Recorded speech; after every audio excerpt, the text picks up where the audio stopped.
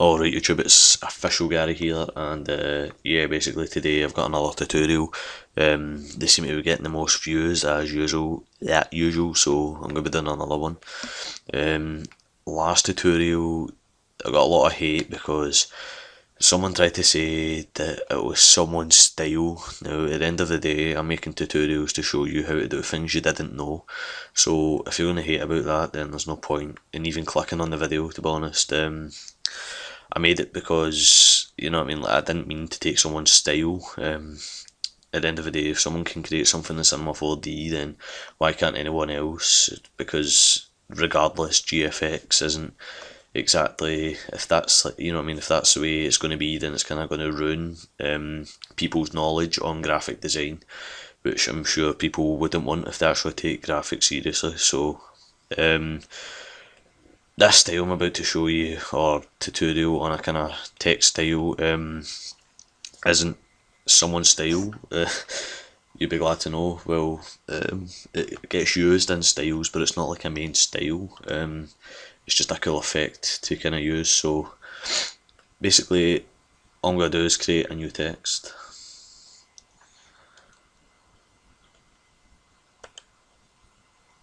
And of course, it'll take a while to select a font.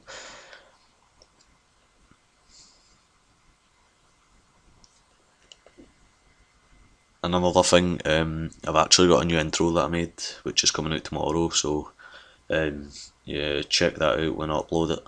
Uh, I might upload it separately, or I might um, put it in my next video, I'm not really sure yet. Ugh, it's taking its time.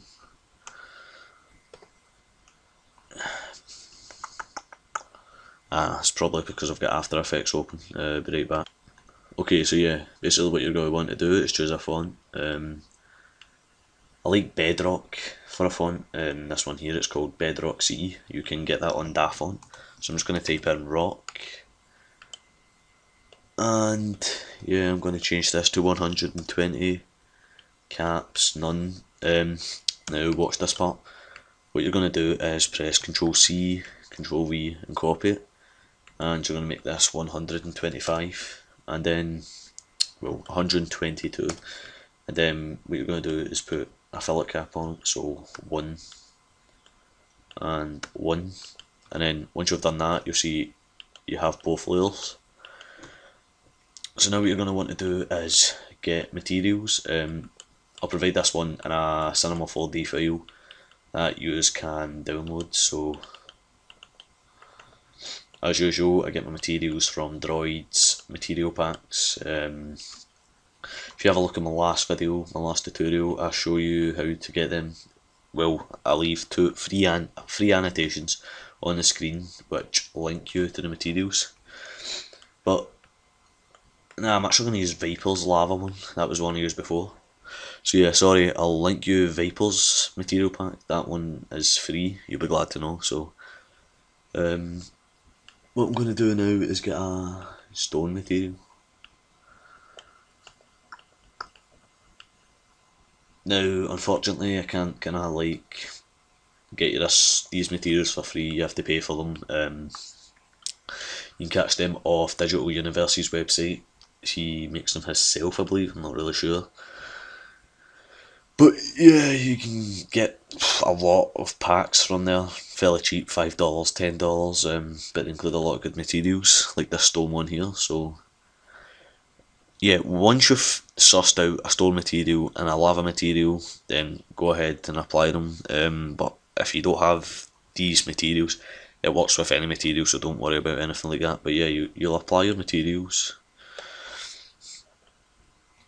and select them both and make them cubic, seamless or shameless.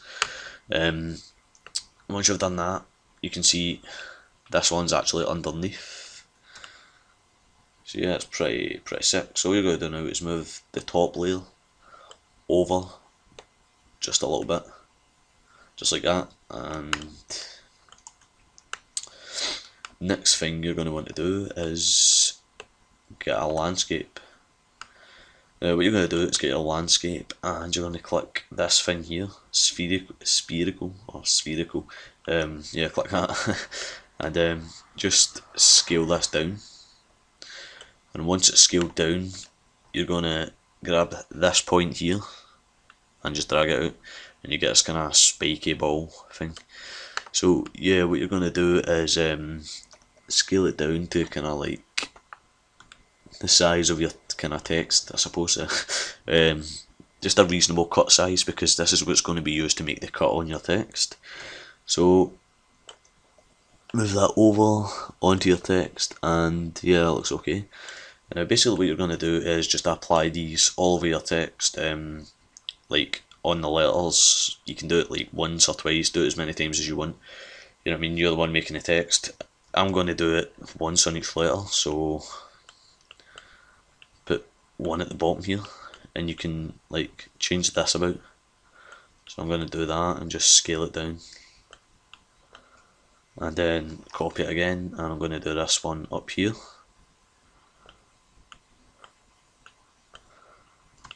Just like that. And I'm going to do another one on the K so down across and at the bottom now you're probably thinking what the fuck is he doing? Um, don't worry this is all going to be changed in a minute because what you're going to do is make a Boole and once you've got a Boole you're going to group these group objects and you're going to add them into the Boole. And then once you've done that you're going to add the top text layer below that. No sorry above it. And as you see voila you get these cuts in your text. Now personally I think this effect is sick. It gives such a nice effect to your text like someone's took a chisel and just chipped away some parts from it or something or like a text has just been slapped in the jaw. But what you're going to do is if it looks a bit off or something you can always play about with these. Um, I'm going to move that one. Yeah this will make it lag a little bit so just going to untick that. Yeah just move it across and up and yeah just basically play around with it like so yeah, that'll do. Um, this part up here, this is really creating a nice effect. It's pretty sick. Um, so yeah, that's how you do that. It was pretty, it's a pretty simple tutorial to do. Um, I've seen it been done before because Deloy does it, but except he's got this kind of like voxel effect thing that comes out. Um, I'm not going to show you to do that. I don't want hated off people saying, oh, you're releasing someone else's style, blah, blah, blah. If you want to find out that, if you if you do want to know how to do that, then I think I'll leave him to do a tutorial on it because 29 dislikes my last video got and it was ridiculous. And I mean, I know how to do a lot of things that, that are involved in people's GFX styles, but in a way, like, it'd be better to show you because if you you know I mean I don't like do you know 3D backgrounds or anything anymore. I kind of take it a bit more seriously. And um, I'd love to show you how to do like some of the stuff in people's styles because it's quite useful tips um, involving your text and stuff. But I just can't deal with the hate on my channel to be honest. But um, yeah, hopefully you kind of respect this video. It's pretty sweet. It's not taking anyone's style away um, because in, in fact I've just came up with this myself like I seen it been I had a a packet downloaded yeah and uh, there was a project in it and basically it was just this and I was looking at it I said well that's pretty sick and I wanted to show you how to do it once I'd looked at the project I kind of sussed it out for myself and uh, yeah so I made my own materials and stuff. Well didn't make them but you know what I mean? I, I, like I chose what materials I was going to use what ones looked cool. Then yeah I think the rock and lava thing looks pretty sick. So what I'm going to do now is show you basically what this finally looks like. Uh, just add in a few lights. Make that a yeah shadow another thing I'm thinking is people that do GFX um, when you download Lightrooms or if people tries to sell you a Lightroom at the end of the day I don't think you should pay money for it I mean I've had pay, paid Lightrooms and I've had non-paid Lightrooms and to be honest they're all the same they don't really give off much effect Um, most of the paid ones will be the same as this kind of setup I'm doing just now. So if you're going to spend money on packs or something, at least yeah, buy a pack, not a, not you know I mean. Don't buy a Lightroom. Um, yeah, so I'm just going to quickly set this up.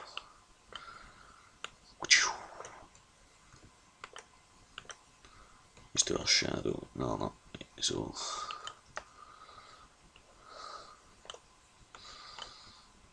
I need your love. Let's change them to 70. Change that to 70. Copy this and drag it to the top.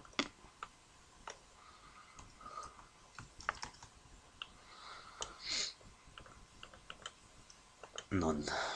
Uh, yeah, looks alright. So yeah, um,